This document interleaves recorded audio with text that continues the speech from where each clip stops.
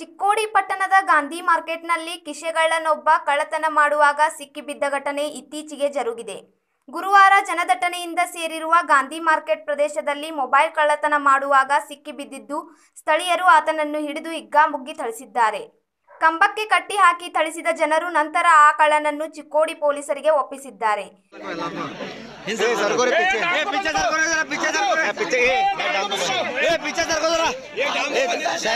picture sir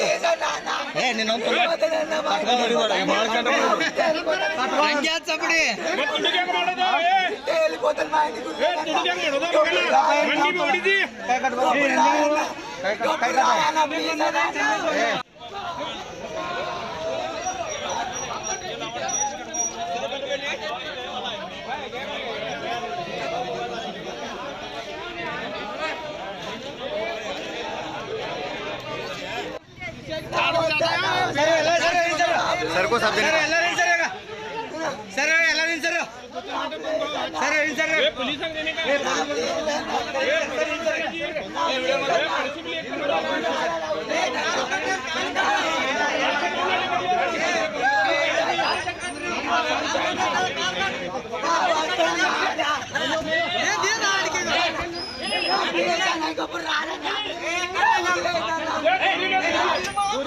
Obrigado, vai,